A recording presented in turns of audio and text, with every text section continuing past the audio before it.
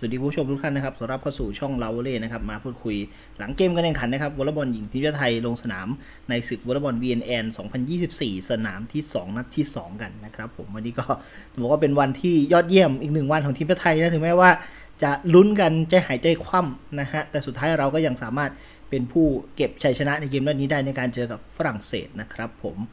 โอ้ต้องบอกว่าเหนื่อยแทนเลยนะสำหรับในเกมนัดนี้ใครที่ได้ดูกันบ้างเชื่อว่าทุกคนที่ติดตามวอลเลย์บอลน่าจะไม่พลาดแหละเกมนัดนี้นะแล้วแข่งกันเร็วด้วยนะ11โมงครึ่งโอ้โหยังไม่ทันกินข้าวเที่ยงเลยแข่งกันแล้วนะฮะอะเดี๋ยวเราไปไล่เรียงดู 6 คนแรกของทีมชาติไทยที่ทางโค้ชยะส่งลงสนามกันที่นึงแล้วกันนะครับ คือ 6 คนแรกของทีมไทยก็แทบจะไม่เปลี่ยนแปลงจาก เกมที่ผ่านมาเลยนะครับ ผมมือเซตก็เป็นณัฏฐณิชาใจแสนนะครับบีหลังเป็นพิมพิชยาก๊กรัมย์นะครับหัวเสาสองคนก็เป็นชัชชุอรโมกศรี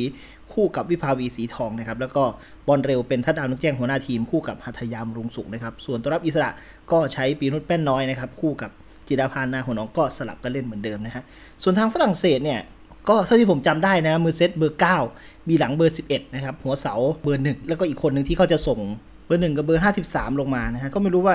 เขาจะชอบเปลี่ยนตำแหน่งผิดหรือว่าเขาคิดเร็วทำเร็วก็ไม่รู้นะสำหรับทางฝรั่งเศสนะอะซึ่งเกมในเซตแรกเราค่อนข้างทำได้ดีกว่านะ ต้นเกมนี่อาจจะยังสูสีกันอยู่แต่ว่าประสิทธิภาพในเกมรุกเกมรับของเราก็ยังทำได้ดีนะ วันนี้เซตแรกต้องบอกว่าเกมรับของเราทำหน้าที่ได้อย่างยอดเยี่ยมเลยทีเดียวนะฮะแล้วก็ขึ้นนำตั้งแต่ช่วงสักกลางกลางเกมนะฮะก่อนที่จะเก็บชัยชนะไปนะครับผมเซตแรกนี่ก็เรานำ23-20นะฮะแล้วก็ขึ้นแท่น 24-22 นะ สุดท้ายก็ยังเก็บชนะไปได้25 23ก็ถือว่าเฉือนเฉือนชนะไปก่อนนำหนึ่งต่อศูนย์เซตเข้าสู่เกมในเซตที่ 2 เนี่ย เกมของเราก็ยังคงดูดีกว่าชัดเจนนะครับ ผมไม่มีปัญหาในเรื่องของอะไรเลยนะ เกมเราก็ยังดูไหลลื่น ทั้งเกมรุกจากหัวเสานะครับบอลเร็วของทั้งทัดดาวแล้วก็ทั้งหัตถยาก็ยังออกสกอร์ได้ดีฝรั่งเศสเองเขาก็สู้ได้ดีเหมือนกันนะเออทั้งตัวผู้เล่นบีหลังตัวผู้เล่นบอลเร็วเบอร์15เขาก็ถือว่าออกสกอร์ได้ ค่อนข้างดีเหมือนกันนะครับผมแต่กลายเป็นว่าเซตที่2เนี่ยเราเล่นได้ดีกว่า แล้วก็มีความมั่นใจมากขึ้นนะครับเราก็เลยเป็นฝ่ายเก็บชนะไป 25 ต่อ 21 นะเซต2นี่เรานำห่างเลย ตั้งแต่ช่วงสักกลางๆเกมก่อนที่จะชนะไปได้นะครับขึ้นนำไป 2 ต่อ 0 เซตแต่เข้าสู่เกมเซตที่ 3 เนี่ย ถ้าฝั่งของทีมไทยเหมือนจะมีปัญหาเรื่องเกมรุกของเราทำได้ไม่ดีเหมือนกับในเซตที่ 1 เซตที่2นะครับรวมไปถึงทางด้านของฝรั่งเศสทำเกมบล็อกมาได้ดีอย่างมากเลยทีเดียวนะแล้วก็ฝรั่งเศสเขาก็ขึ้นนำเราตั้งแต่ช่วงสักต้นต้นเกมไปถึงช่วงกลางเกมนะแล้วก็นำไป 16-12เออนำไปห่างเลยนะฮะ16-12 ซึ่ง พอนำถึง62เนี่ยผมรู้สึกว่าเฮ้ยมันขาดแล้วนะ จะเป็นเซตที่ฝรั่งเศสก็น่าจะกลับมาได้นะแต่พอถึงล็อกที่ทางบุ๋มบิมลงไปเสิร์ฟเนาะชัชชุอรลงไปเสิร์ฟเฮ้ยบุ๋มบิมเสิร์ฟไล่ขึ้นมาจาก 13 16นะฮะไล่จนตีเสมอ 16 เท่า แล้วเท่านั้นไม่พอนะครับยังแซงนำ17 16 ด้วยเฮ้ยผมคิดว่าเกมของเรามันกลับมาแล้วอะพอเรานำได้ปุ๊บโมเมนตัมเกมมันน่าจะเหวี่ยงกลับมาเป็นเราซึ่งหลังนั้นเราก็นำนะเออเรานำ18 17นำ19 18 แล้วก็มีโอกาสขึ้นนำ21 20 ด้วย แต่ว่าสุดท้ายก็ฝรั่งเศสก็ยังกลับมาแซงนำได้ในช่วงท้ายเกมนะ ซึ่งก็เป็นข้อผิดพลาดของเราเองที่เราไม่สามารถที่จะทำเกมรุกของเราได้ในช่วงนั้นเลยทำให้แบบฝรั่งเศสเขาก็แซงขึ้นนำไป 23 22 แล้วไปถึงยังเป็นฝ่ายเก็บชนะไปได้นะครับ 25 ต่อ 23 ในเซตที่3นะฮะก็ขยับไล่ขึ้นมาเป็น 1 ต่อ 2 เซตนะฮะทีนี้ผมรู้สึกว่า มันตุ้มตุ้มต่อมต่อมแล้วนะ เกมของเราเริ่มมีปัญหาแล้วนะฮะ เราจริง ๆ มันเราเราตามอยู่ 4 แต้มเรากลับมาตีเสมอได้อะในช่วงกลางๆเกมช่วงท้ายแล้วเลยแต่ว่ากลายเป็นว่าอันนี้คือวอลเลย์บอลนะฮะดีอิสวอลเลย์บอลที่เขาเปิดในสนาม มันก็โมเมนตัมมันก็เวียงไปเวียงมาได้แบบนี้ตลอดนะครับผมเข้าสู่เกมเซตที่ 4 เนี่ยโอ้โหฝรั่งเศสเขาเริ่มต้นได้ดีแล้วนะ เป็นฝ่ายที่ออกนำสักประมาณชักกลางๆเกม ซึ่งต้นเกมเนี่ยทีมไทยก็เปลี่ยนเอากติกาแก้วพินลงมาเล่นนะก็อาศัยความเก่าของกติกาลงมา มาแทนทางด้านของวิภาวี ซึ่งเหมือนวิภาวีจะไม่ค่อยพร้อมเท่าไหร่นะครับในช่วงเวลานั้นเหมือนจะน้องจะมีอาการตึงๆนิดนึงด้วยนะเออก็ไม่รู้ว่ามีการบาดเจ็บหรือว่าฟอร์มเขาเล่นเริ่มเริ่มหายหรือว่าล้าก็ไม่รู้เหมือนกันนะครับผมซึ่งพอเอาวิภาวีออกไปแล้วก็ส่งกติกาลงมา จริงกติกาก็ถือว่าเป็นคนที่มีเกมรับที่ดีมีเกมรุกที่ดีแหละเพียงแต่ว่าเจ้าตัวเองอะหายจาก แมตช์นานาชาติไปค่อนข้างนานนะสิปีนะครับในการเล่นทีมชาตินะครับ ผมรวมไปถึงมามาลงมาในช่วงสถานการณ์ที่มันก็ค่อนข้างกดดันด้วยนะฮะเลยทำให้แบบฟอร์มก็อาจจะไม่ได้ดีมากนะครับ แล้วก็ช่วงนั้นก็เป็นช่วงที่ฝรั่งเศสเขาก็โกยแต้มหนีเลยนะครับ เรามีตีเสมอได้สักประมาณแต้มที่ 10 11 ช่วงนี้นะครับ แต่ว่าสุดท้ายเขาก็หนีไปได้อีกสักประมาณกลางๆเกมนะจนตอนท้ายโค้ชยาก็ต้องเปลี่ยนเอาวิภาวี กลับออกมาอีกรอบหนึ่งแต่ว่าก็ไม่ทันและตอนท้ายก็เป็นฝรั่งเศสที่ชนะไป 25 ต่อ 20 คะแนนนะครับ ก็เลยทำให้เขาตีเสมอเป็น 2 ต่อ 2 เซตนะครับ โอ้โห ทีนี้เข้าสู่เซตที่5นี่ผมรู้สึกว่าความมั่นอกมั่นใจหรือว่าเกมมันน่าจะเป็นทางฝั่งของฝรั่งเศสนะที่เขาน่าจะฮึดกลับมาทำได้ดีกว่านะ แต่กลายเป็นว่าเกม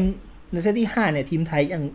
ยังมีไพ่เด็ดอีกหนึ่งไม้นะครับ ซึ่งผมก็คิดแล้วแหละว่า ถึงเวลาอาจจะต้องใช้แล้ว คือในเซตที่4เนี่ย ผมมองว่าจริงๆโค้ชยะเลือกที่จะใช้อัชรพรลงมาเลยก็ได้นะในช่วงเซตสี่ตอนที่เปลี่ยนเอาวิภาวีออกเนี่ยแต่ว่าโค้ชยะอาจจะอยากลองให้กติกาได้ลงสนามไปก่อนนะฮะคือมาแล้วยังไงก็อาจจะต้อง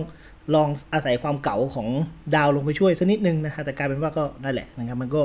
ความกดดันอะไรลงมาในพวกนี้มันเลยทำให้ดาวก็อาจจะโชว์ฟอร์มได้ไม่ดีมากนะครับผมสุดท้ายเซตห้าเนี่ยยังดีที่ว่าเรายังเหลือตัวทีเด็ดของเราก็คือเพียวอัจฉราพรที่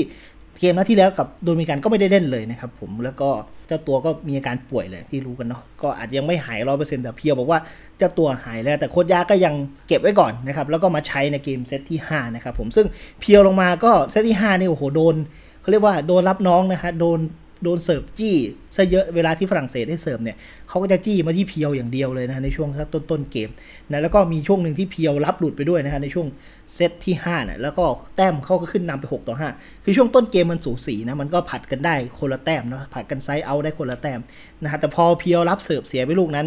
พียวกลับมารับเสิร์ฟใหม่อีกลูกหนึ่งแล้วแล้วก็เปิดเกมลุกสวนกลับไป ก็ตีเสมอเป็น 6เท่าหลังจากนั้นแต้มฝรั่งเศสหยุดอยู่ที่ 6 แต้มยาวเลยนะครับ เออ คือเหมือนไปจี้จุด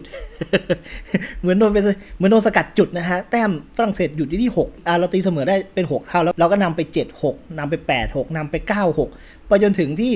13 6 นะฮะ โอ้ถึงตอนนั้นปุ๊บสบายตัวนะฮะ คิดในใจสบายตัวนะฮะ ไม่น่าจะมีปัญหาแล้ว สุดท้ายเราก็ชนะไป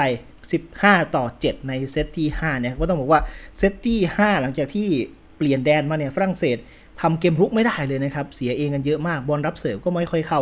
ตีแก้ยังไงก็เสียนะครับ แล้วก็หรือแม้จะตีดีแต่บางลูกทีมไทยก็เก็บกลับมา แล้วก็ทำ counter attack สวนกลับทำให้เราก็เป็นฝ่ายได้แต้มตลอดนะครับผม สุดท้ายก็เป็นทีมไทยที่ยังเก็บชัยชนะไปได้ในเซตที่5นะครับ ถือว่าเป็นการกลับมาที่โอเคนะ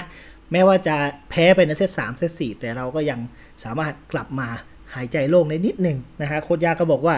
เกือบได้เป็นเจ้าภาพกระถินซะแล้วนะฮะถือถ้าแพ้สองสามเนี่ยไม่อยากจะคิดนะว่าจะเกิดอะไรขึ้นบ้างนะฮะอาจจะดีที่ว่าเส้นห้าฝรั่งเศสเขาก็ความแน่นอนของเกมเขามันก็ลดลงเนาะเออแล้วก็บวกกับสภาพร่างกายด้วยอาจจะแบบล้ามาด้วยเพราะฝรั่งเศสก็เล่นมาหลายวันติดเหมือนกันนะครับใน ก่อนหน้านี้แต่ว่าไทยของเราก็ถือว่าได้เปรียบเราได้พักมา 2 วันเนาะอันนี้อาจจะเป็นจุดเล็ก ๆ ที่เราได้เปรียบในแมชนี้นะครับผมอะก็สรุปผลการแข่งขันทีมไทยชนะไป 3 ต่อ 2 เซตนะครับ 25 23 25 21 23 25 25 20 แล้วก็ 15 ต่อ 7 คะแนนนะครับ โดยที่ผู้เล่นทำแต้มสูงสุดในเกมนัดนี้นะครับเป็นลูซิลชิเกลนะฮะไม่รู้อ่านถูกกับวานะเบอร์ 11 ของทางฝรั่งเศสนะครับทำไปได้ 23 คะแนน แล้วก็ลองมาเป็นหัตถยานะครับของไทยทำไป 20 คะแนนโอ้โหเตย หดมากนะครับในแมตช์นี้ ส่วนอันดับ 3 นี่เป็นไม่รู้อ่านถูกหรือเปล่านะอมองดาซิลเวสนะฮะอ่านผิดขออภัยถ้าเป็นภาษาฝรั่งเศส ผมก็ไม่แน่ใจเรื่องการออกเสียงทำไป 17 คะแนนนะเป็นตัวบอลเร็วของเขานะเบอร์ 15 นะ แล้วก็ของไทยอีกคนก็คือชัชชุอรนะครับทำไปได้ 16 คะแนนในนัดนี้นะครับผม เป็นแมตช์ที่ดีสำหรับทีมไทยนะ ถึงแม้ว่าจะไม่ชนะ 3-0 แต่ก็ยังดี อันอย่างน้อยก็มีแมตช์ชนะ เราก็ชนะ 2 เกมติดต่อกันใน VNL นะครับ ปีนี้เล่นมา 6 เกมชนะ 2 แพ้ 4 ก็มีอยู่ 5 คะแนนด้วยกันในตอนนี้นะครับ ส่วนคะแนนสะสมอันดับโลกของเรานะครับจากการคว้าชนะต่อฝรั่งเศส เราก็ทำแต้มบวกขึ้นมา 2.83 คะแนนนะครับ คะแนนเพิ่มมาเป็น 200 15.43 คะแนนยังรั้งอยู่ในอันดับที่ 13 ของโลกอยู่นะครับสำหรับหน้าหน้าของทีมสาวไทยนะครับเราจะลงสนามเจอกับเจ้าภาพจีนนะครับผมในวันพรุ่งนี้นะครับวันที่ 1 มิถุนายนนะครับในเวลา 18นาฬิกา30นาทีเล่นกับเจ้าบ้านเราจะได้เล่นเป็น คู่สุดท้ายนะครับผมแล้วก็นัดสุดท้ายของสนามนี้เราจะเล่นต่อเลยในวันที่ 2 นะครับ เจอกับทางด้านของบราซิลเวลา 15นาฬิกานะคือข้อดีของการที่เราได้พักมา 2 วันนะครับ ก็คือเรามีแรงเหลือแหละในในการเล่นกับคู่แข่งอย่างฝรั่งเศสในวันนี้นะ แต่ข้อเสียก็คือเราจะได้เล่น 3 วันติดนะครับ เราเล่นวันนี้ พรุ่งนี้แล้วก็มารืน 3 วันติดนะฮะเป็นการแข่งขันที่ต้องบอกว่ามีทั้งดีและเสียแหละนะครับ คือโปรแกรมเนี่ยมันแรนดอมมาอยู่แล้วนะ ไม่รู้ว่าใครจะได้พักวันไหนบ้าง เพราะว่า ทัวร์นาเมนต์มันมี 6 วันเนาะแล้วเรามีโปรแกรมการแข่งขัน 4 แมตช์มันอาจจะ random ให้เราได้เล่นวันที่ 1 2 3 แล้วพัก 4 5 เล่นวันสุดท้ายอะไรเงี้ยแล้วแต่โปรแกรมนะฮะแต่ของเรานี่คือเล่นวันที่ 1 มาเล่นทีก็คือวันที่ 4 5 6นะครับมันจะมาหนักช่วงท้ายนะสำหรับทีมไทย เพราะฉะนั้นก็ ติดตามเชียร์กันนะครับ เป็นกำลังใจให้ทีมนักตบสาวไทยของเราในการแข่งขัน VNL 2024 สนามที่2นะวันนี้ก็ยินดีกับชัยชนะของนักกีฬาทุกคนรวมไปถึงทีมงานผู้ฝึกสอนด้วยนะครับ ตามเชียร์กันต่อในวันพรุ่งนี้นะครับเจอกับทีมชาติจีนเนาะวันนี้ขอบคุณทุกท่านที่ติดตามด้วยนะครับ อย่าลืมกดไลค์กดแชร์แล้วก็กด subscribe กับช่องเราเล่ของเราด้วยนะครับเจอกันใหม่ในคลิปหน้าครับผมวันนี้ลาไปก่อนครับสวัสดีครับ